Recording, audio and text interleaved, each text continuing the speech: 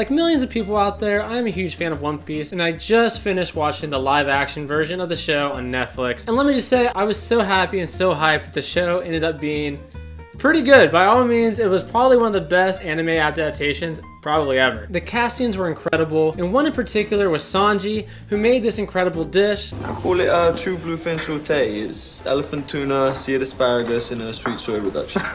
Is that so? yeah. Well, I call it crap. So let's get started and hopefully make the Straw Hat Pirates proud. So our cooking adventure begins with asking some simple ingredients to join our recipe, or one might say, crew. Sound familiar?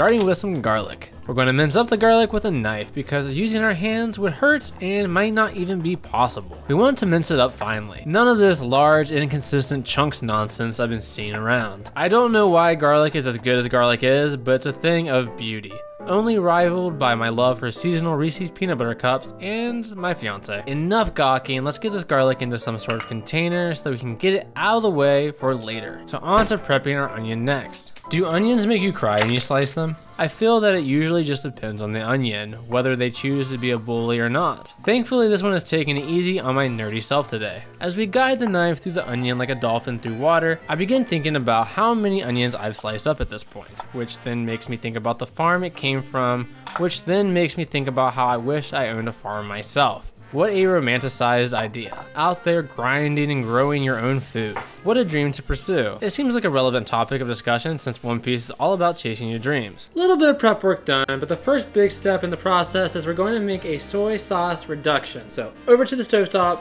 and I'll explain there. Our soy sauce reduction will just be a sweet soy sauce reduced to about half so it thickens up and becomes something of a legend. The secret to the sauce is the love we will put into it as well as honey. It already smells fantastic in here. I feel like I've already been talking too much so I'm to sit back and let it unfold a little bit. I know sometimes life can be tough. And you feel like you just had enough.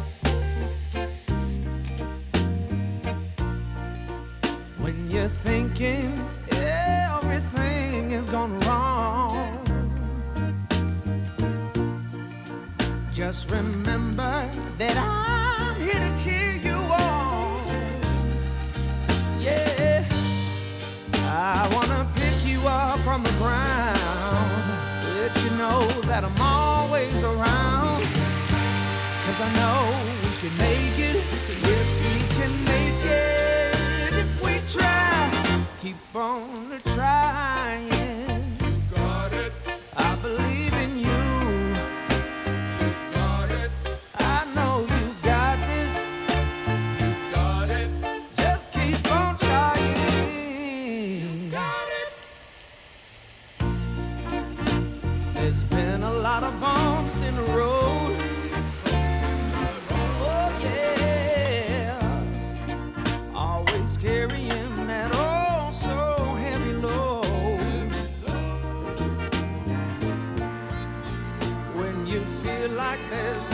much on your plate. Just call on me. And I'll help you carry some of that weight.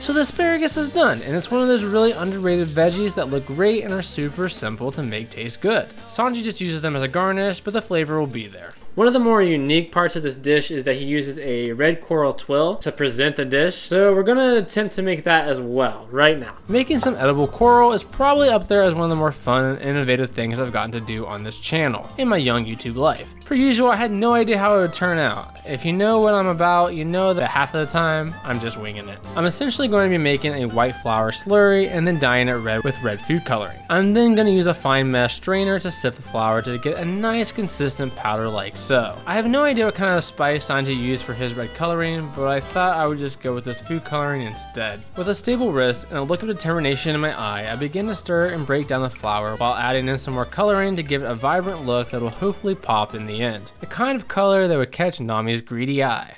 Okay, so back to the stovetop, we need to introduce our slurry to a hot pan and let it sizzle in a nice pattern. It shouldn't take long, but we want a good combination of different textures to make the coral look organic and alive. I don't have a clear image as to what I'm looking for, it's more of a I will know it when I see it kind of situation.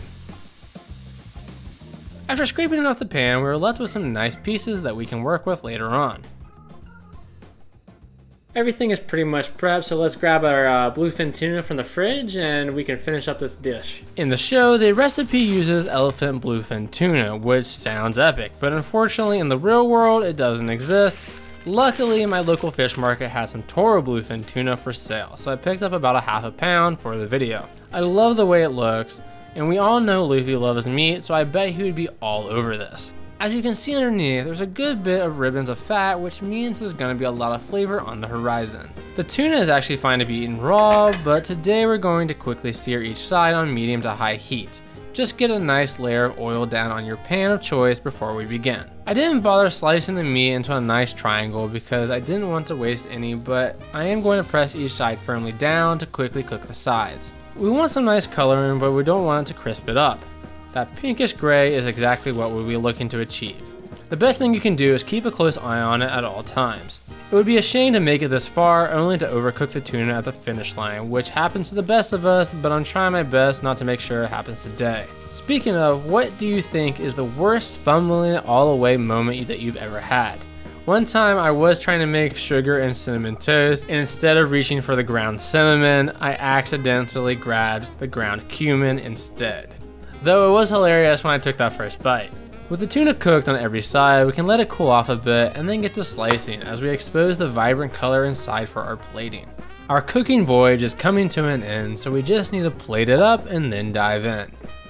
Let's get a nice base of our soy sauce reduction spread across the bottom. I think it ended up turning out really well and I was really happy with the consistency. Let's follow that up by introducing our tuna steaks.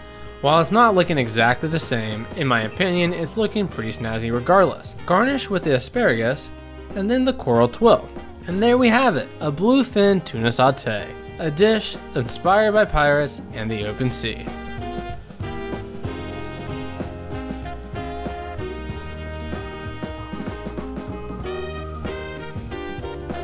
It's all done. The bluefin saute is complete. It may not be elephant bluefin tuna, doesn't exist, but hopefully this is the next best thing. I'm gonna give it a bite. I hate to mess up this beautiful presentation, but we gotta try it. So, let's do it.